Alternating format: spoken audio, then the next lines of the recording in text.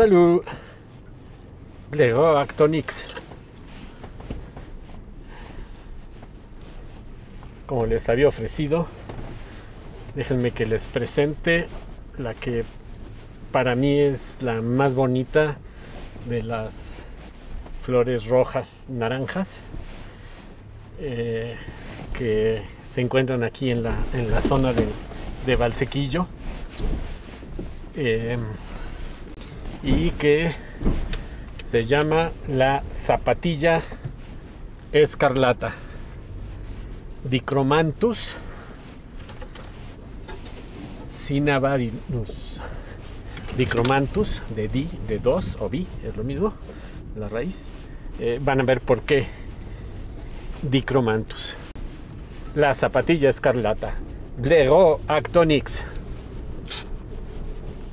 ¿Qué podemos decir de esta hermosa flor, que es una orquídea de tipo terrestre o litófita, a diferencia de las que crecen eh, como soporte, toman un árbol o una planta sin, este, sin que estén propiamente parásitas. ¿no? Eh, aquí la vemos cerrada, luego la vamos a ver eh, abierta, que es la mayoría o muchas de las orquídeas. Es nativa de, de América. Eh, en náhuatl se le llama Kutsi, también por esto el nombre, o orquídea naranja de otoño, también en inglés Scarlet Ladies Tresses o, trenzas roja de, muchacha. Y bueno, decir que para los aztecas era importante tanto en el sentido ornamental, medicinal, eh, de alimento, aunque esto se ha perdido y como especie.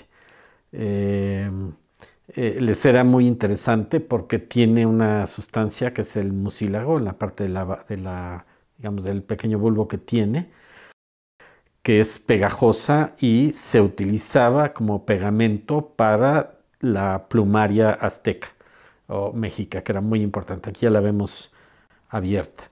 De hecho, el nombre general es chautle, voy a decirlo mejor, perdón, chautle, que significa pegamento engrudo, es el nombre genérico de las orquídeas.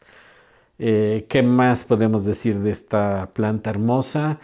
Eh, para mí la más bonita o de las más bonitas es que su polinización eh, se lleva a cabo fundamentalmente por colibrís. Y bueno, pues esto aumenta aún más su hermosura. Cutsis o zapatilla escarlata.